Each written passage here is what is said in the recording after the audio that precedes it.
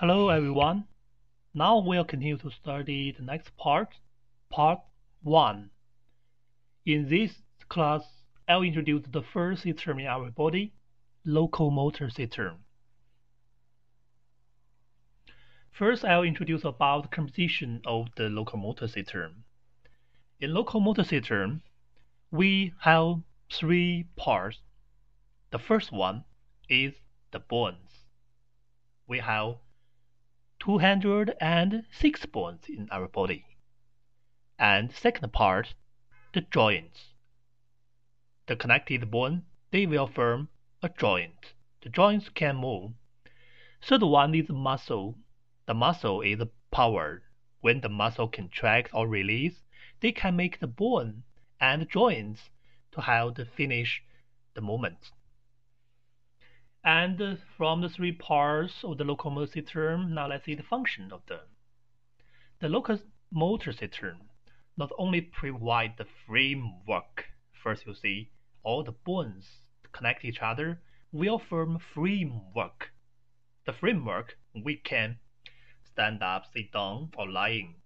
Okay, and but also carry out the function of motion all the moments is finished by the locomotor system and support support our body, support our height, support limbs, and protection. You know the thorax or the bone of thorax will protect heart and lungs and other organs. And some bones can create blood cell. And later I'll introduce which bone can create create the blood cells. All of them is the function of the locomotor system. And first, I'll introduce about the chief uh, description of the locomotor system. And then we'll study all the bones in our body, all the joints, and all the muscles. So the locomotor system is very complicated. There are many knowledge. I'll teach you one by one. First, let's see Chapter 1 Osteology or Bony System. And first, let's see the introduction of the osteology. The osteology is the study on bone. First, you should know this number. This number is very important. Everyone must know it. How many bones are there in our body? You should know. 206. Okay, it's in adult in this number. But if you are a child, please guess, in a child, the number is more or less?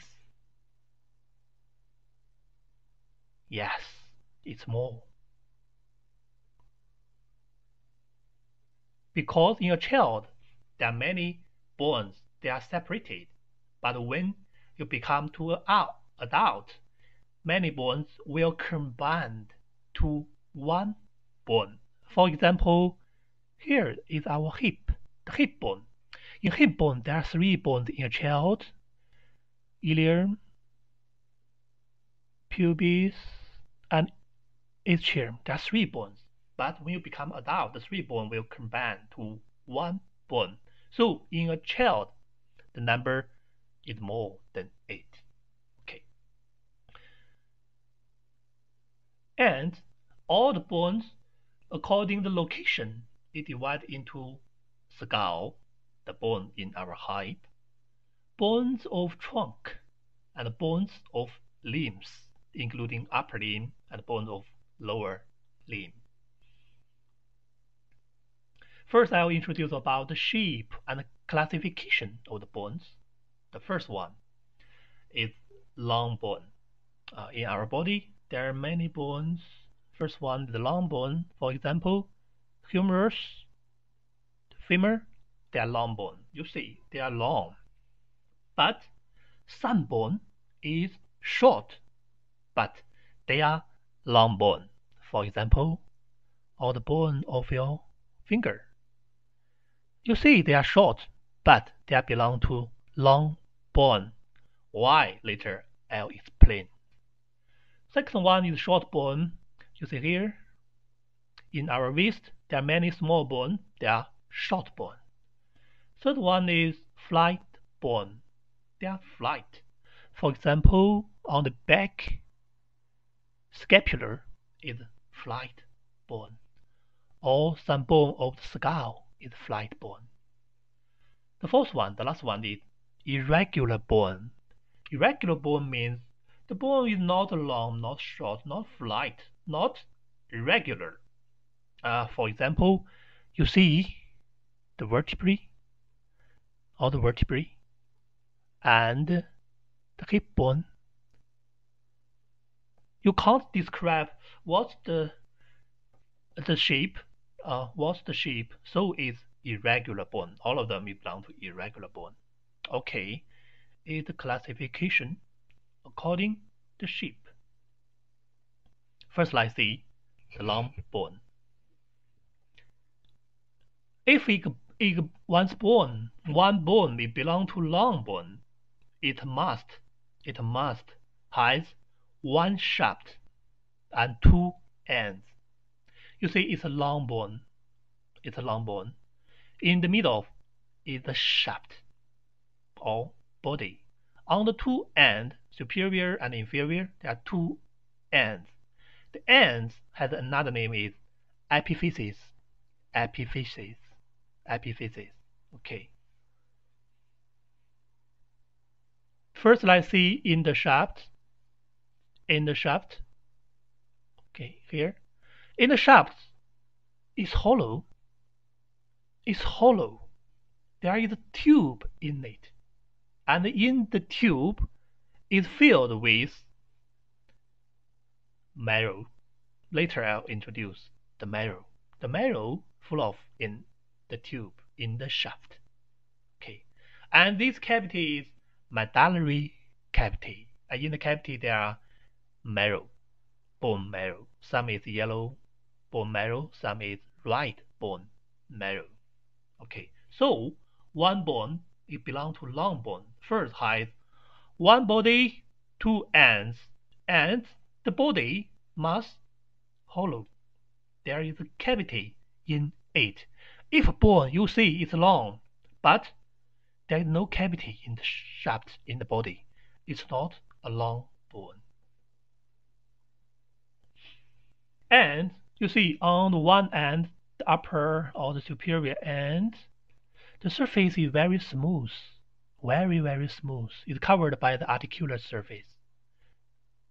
Uh, it's very, very smooth. And this is our head of humerus. The head of humerus will connect with the scapular will form our shoulder joint. So this surface is very, very smooth.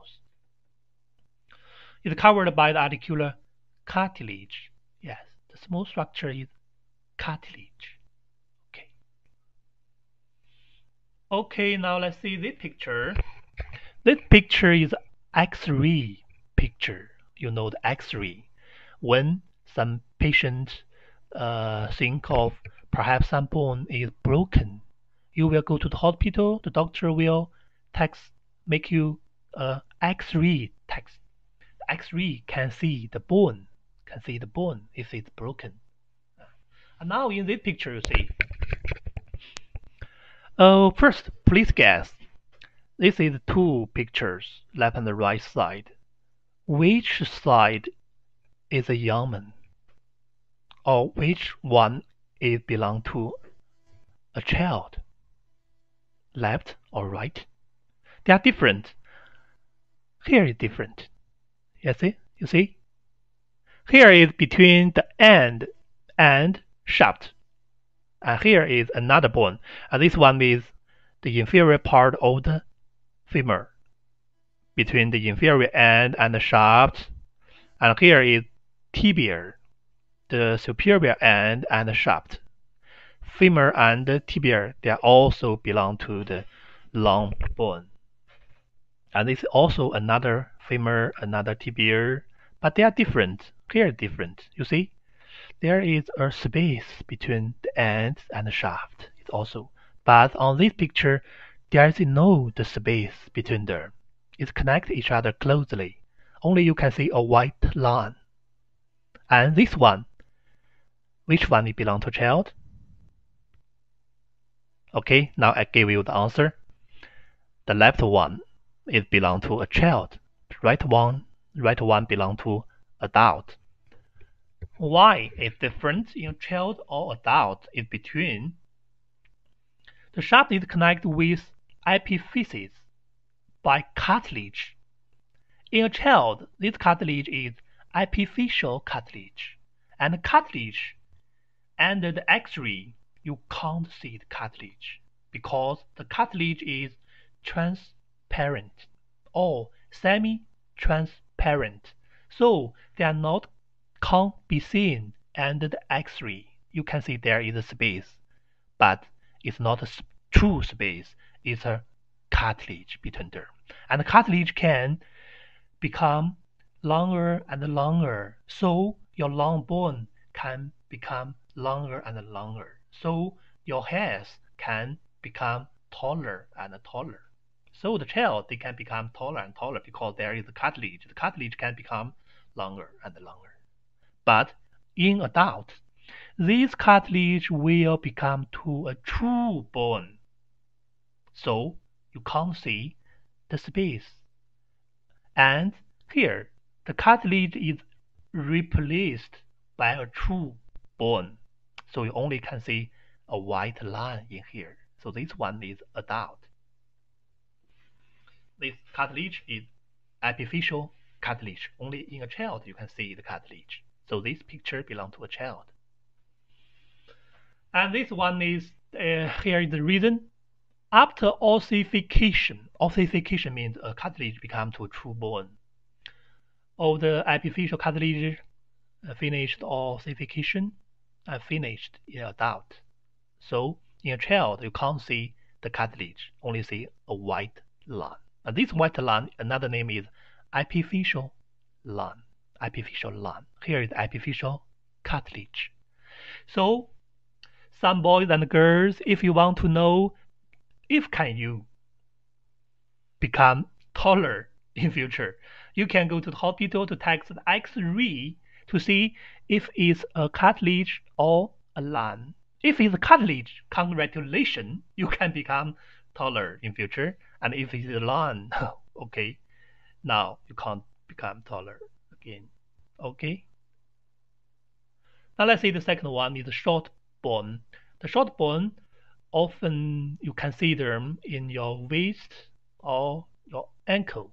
Uh, they are short bone. The short bone is very small uh, and and is round or is smooth surface so they can move each other very freely. Okay. So the one is flat bone, for example, the bone of the skull or the rib, sternum, they are flat bone, flat bone. The flat bone often to protect the cavity in them, the thoracic cavity, the cranial cavity, the function is protect. The fourth one is irregular bone. You see this, these three bones, they are irregular. This one is one vertebrae. This one is hip bone. And this one is maxillar. They are irregular bone. You can't describe the shape is irregular. And some cranial bone contain air-filled cavity or sinuses and are known as pneumatic bone. For example, the maxilla. In the maxilla, there are some cavity in it. Cavity, you see, uh, paranasal sinus. So this cavity is filled with air, and the function is can reduce the heat of the head, help up to finished action.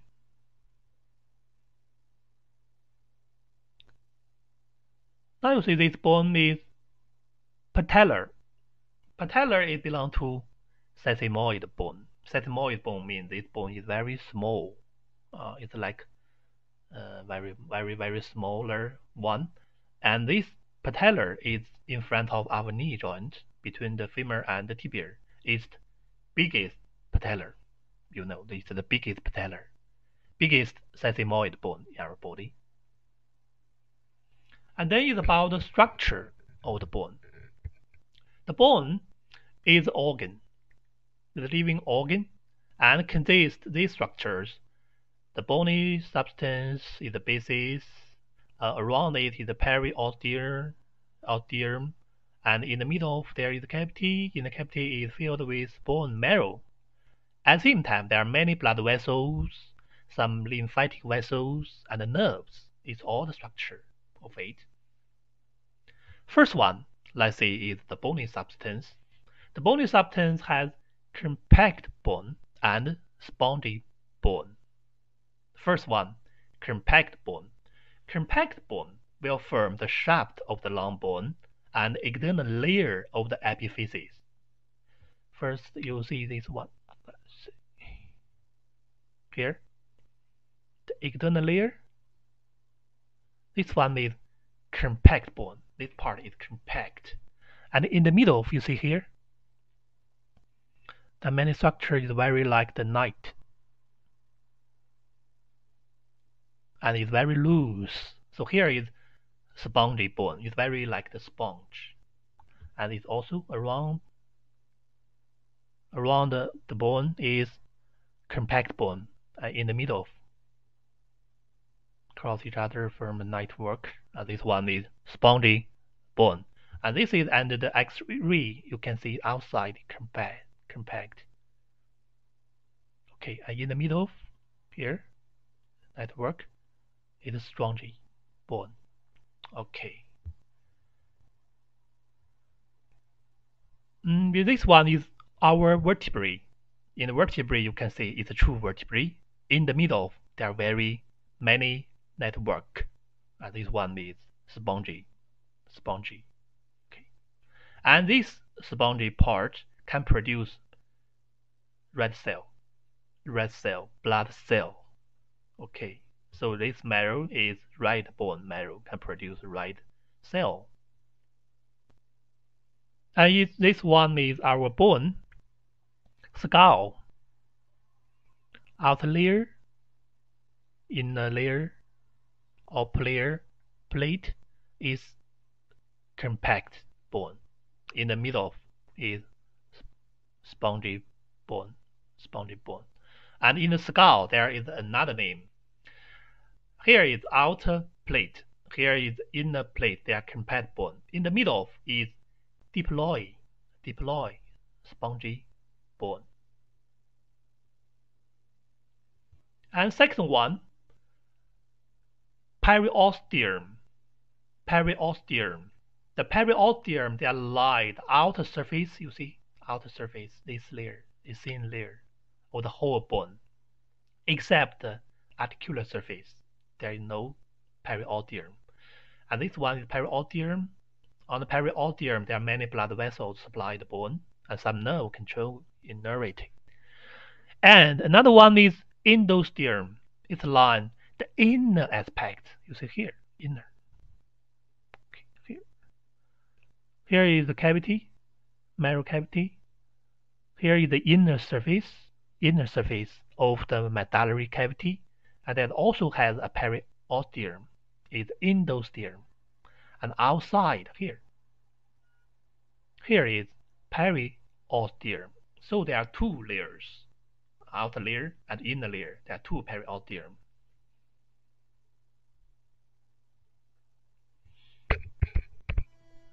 Okay, so also can see this picture again. Outside is periosteum, and the inside is endosteum. Yeah.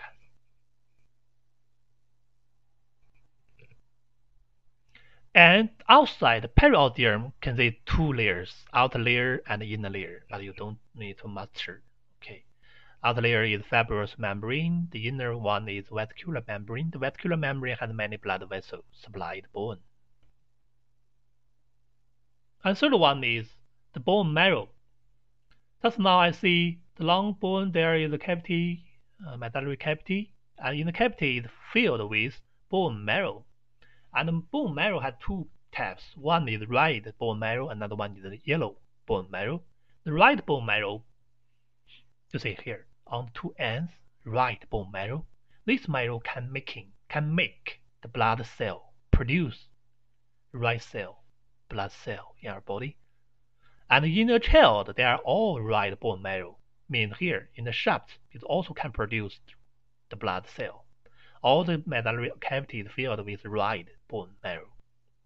But in adult, the shaft part, this right bone marrow is replaced by yellow bone marrow. The yellow bone marrow is replaced by fatty tissue, so can't produce blood vessel again. Okay, it's bone marrow. But some bone in your life, you know, all in your life can produce red bone marrow. Let's see the bone. First, first one, vertebrae, ribs, sternum, hip bone, and upper end or inferior end of the long bone. For example, the femur, the humerus. Your all your life can produce the red cell, the blood cell. So in all your life, there are red bone marrow filled in the filled in the and other bone, except um, all the other bone in adult only uh, there is no red marrow, only the yellow bone marrow. Okay, here is the last one. The chemical composition. You only to know it, don't need matter. There are two chemicals in a bone. One is organic material, another one is inorganic material. Okay, here is some medical structure you don't need to master. And let's see this picture. In a, in an infant, there are many organic material. So the bone is very easy to be deformed. They can change the shape very easily. You can here, and you can circle it, and curve it, because deform the shape of it because there are many organic material. Okay, and in old, there are more inorganic material. So all this bone is very easily to be broken. Uh, when the, the name is, is bone fracture is very easily because there are more inorganic material. Okay, it's different. You only know this one is okay.